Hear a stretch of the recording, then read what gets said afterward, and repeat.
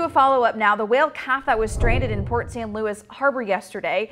Harbor Patrol tells us the last time it was spotted was around 7 this morning, swimming out past the boats. Last night, the young whale was seen washed up along the rocks in this video here, and marine mammal officials expected they'd have to perform a necropsy on animal today. It's unknown where the whale is now, but the Marine Mammal Center says they're on standby if it's spotted again.